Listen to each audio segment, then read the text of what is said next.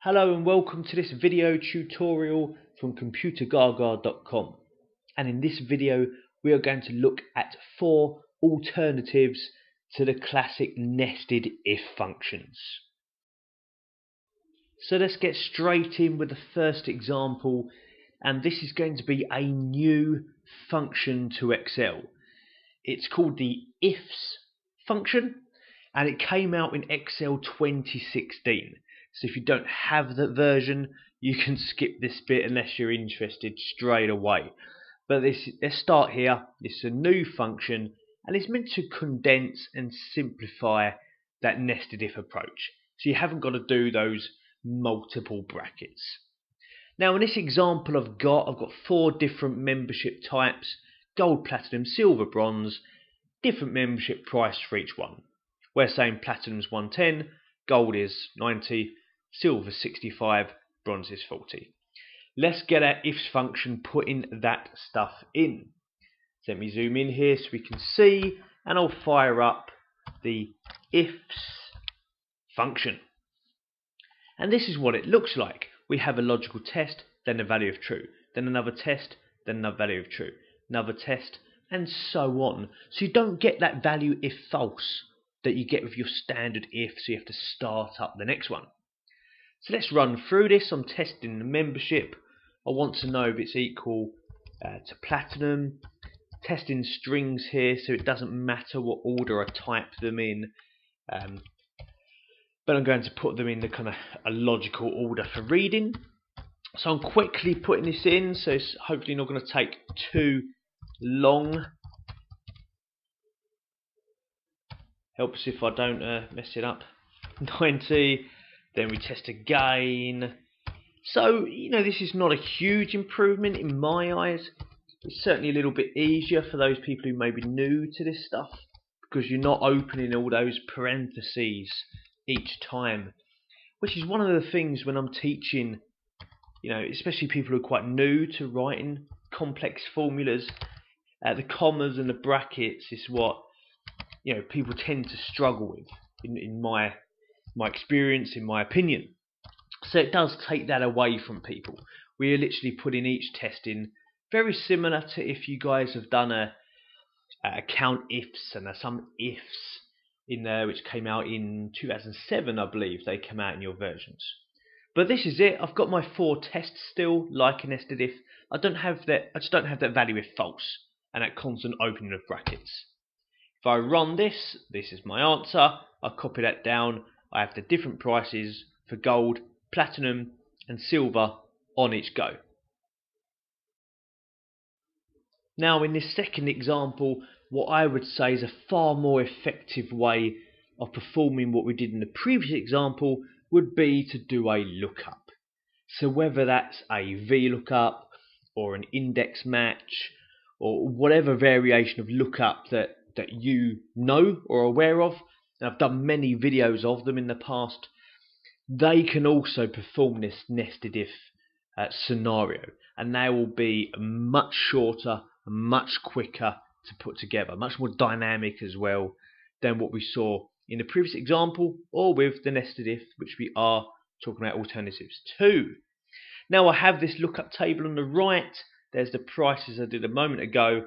I'm going to pick on VLOOKUP here, being the most well-known, most commonly used lookup function of all. But as I've said, an index match would perform this just as well. Some people would even argue better. So the lookup value is the membership. Let's put a comma in. The table array is this range on the right. Not going to spend too much time there. This is not a VLOOKUP lesson. Uh, you can find that elsewhere, those who are interested. Fix it up, column 2, and let's put a false on the end. Here we're just looking at it doing a job instead of writing that big nested if. Look at the size of that compared to what we did in the previous example just, just a minute ago. Much simpler to put together and much more dynamic because people can just adjust this lookup table on the right. They can adjust the price, uh, adjust the memberships that we're offering and stuff, and this would all update. It is a far better solution than nested ifs. Now in this third example we have another lookup. But in the previous ones we were looking at membership type, like platinum, gold. So we're testing the string, we were testing text. Now I'm looking at testing the range. I have various scores and depending on the quality of that score depends what grade they get. So what I've done here is a couple of if examples. Now I could achieve this with this formula. Look at the size of that. Is it 90% or better A, 80% or better B, 70% or better C, and so on, culminating F if anything else. I could also do with B, which is a far more resilient and durable alternative, because I've thrown the AND function in. It's not so reliant on the order it's written in, etc. But look at the size of that in comparison. Now that works. You can see they're working on screen. But we're looking at improving that. You know, if somebody needs to change it in the future, a lot of people will be scared of a formula of, of that size and, you know, let's say complexity. Let's see our VLOOKUP do it, or once again, any lookup alternative can behave like this.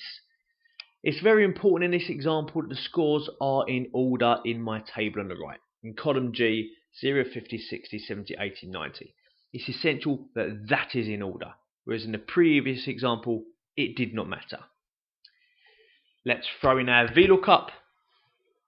Provide a little bit of information on these lookups, but it's not a lookup tutorial, this. The lookup value is the exam score. The table array is this table on the right again. Let's fix that range.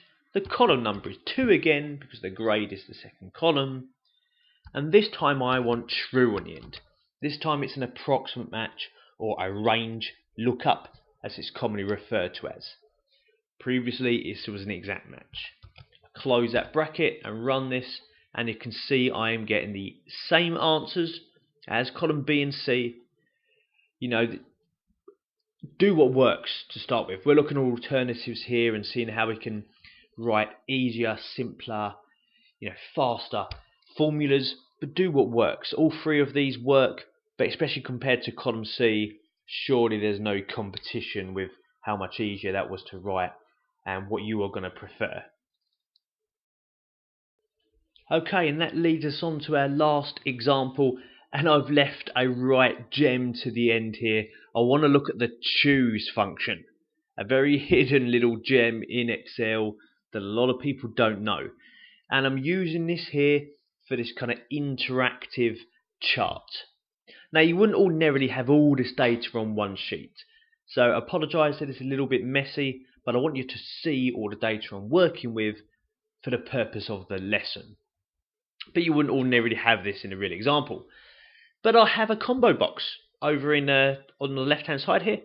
And if I choose a certain football league like Serie A, or if I choose the Bundesliga, when I choose that, my chart is updating. You see the title is changing.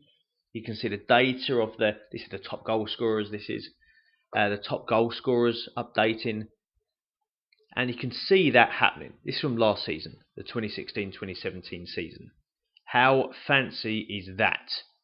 Now this at the moment, this combo box is linked to cell A9. You can see when I'm changing it, it's changing the index value in there. That's a standard thing that form controls do. Once again, this is not a lesson in that, so if you're interested, you can find that stuff elsewhere. Uh, this is to focus on the formula side of things. Uh, apologies for that if you're hoping for more depth, but that is what's going on right now.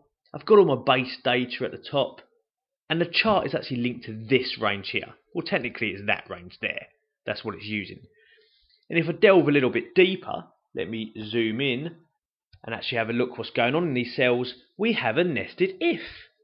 It is looking at cell A9, the link cell number 3 on my screen at the moment. If that says 1, do A3. If it says 2, do D3. If it says 3, do G3. So just walking along from Harry Kane to Lionel Messi to Edin Dzeko, you know, all the way across.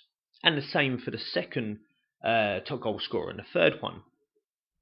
Now that's doing a job, there's nothing wrong with that. But this is a classic example for a function called choose. So let me wipe out this data that I've got here. and also in that chart title above. And let's use the choose function instead. So I'm going to type equals choose, opening bracket. And what this will do is accept an index number, which is A9 right now. That's been generated by my combo box, or it could be a checkbox or a radio button. I put my comma in, and then they want the values. So now this is for the uh, name of the league. So I'm going to choose A1, comma, D1, comma, uh, G1, comma, J1. And it's as simple as that.